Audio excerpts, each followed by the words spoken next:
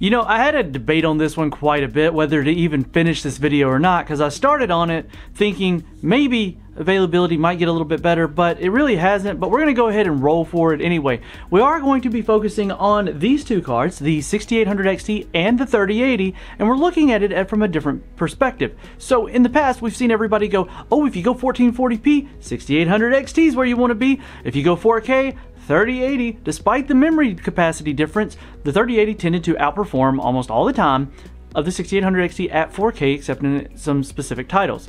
Now, what happens if you say, I don't care about 1440p gaming, I don't care about 4K gaming? And no, we're not going to 1080p. Title's already told you that.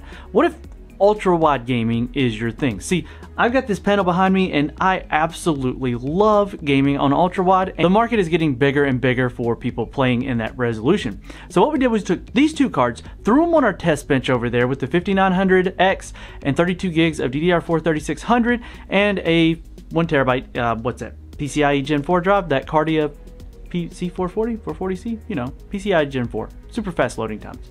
But what we wanted to do is if you didn't rely on, well, if you didn't lean on ray tracing, you didn't lean on DLSS, and you didn't lean on smart access memory, just raw card performance, none of the extra stuff. So I don't know.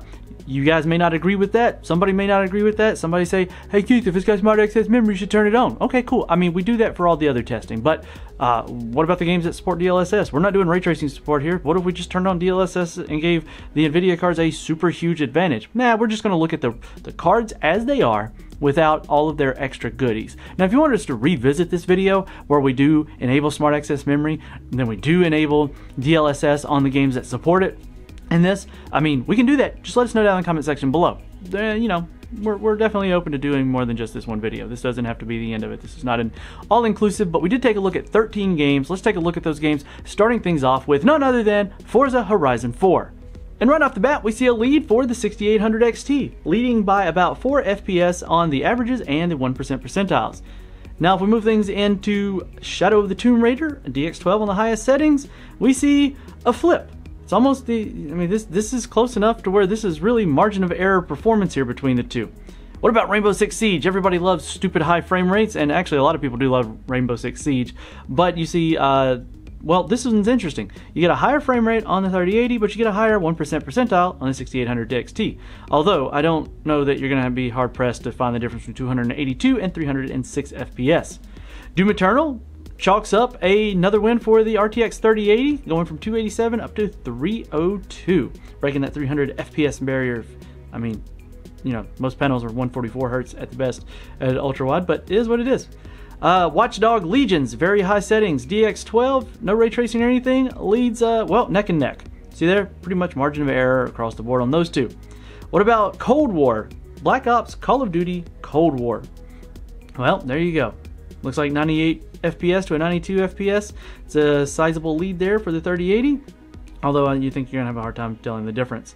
Horizon Zero Dawn yields us pretty much the same results as we saw in Cold War with the 3080 out ahead.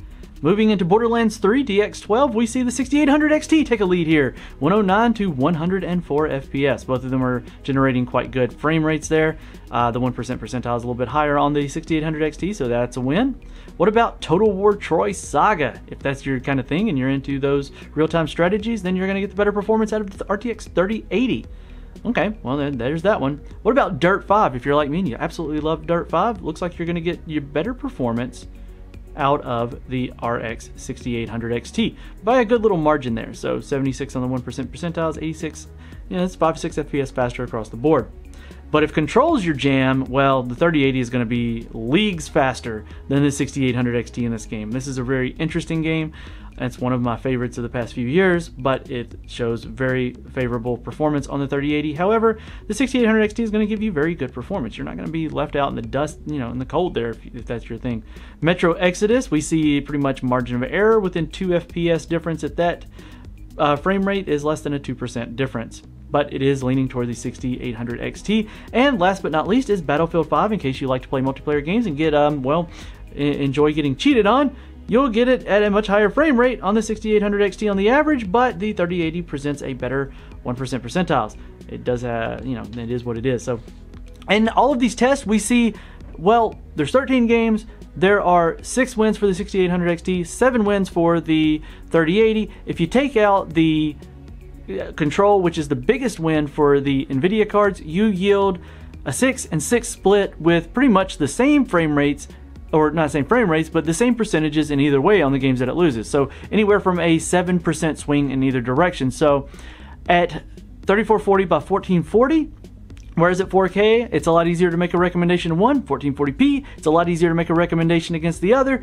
If you're at 3440 by 1440 and you don't care about ray tracing or DLSS, I personally would tell you, implore you to care about something like DLSS, but Fidelity FX Super Resolution is coming one day in the future, but we don't know when, so I can't. It's a it's a non unknown quantity, so I can't really factor it in there.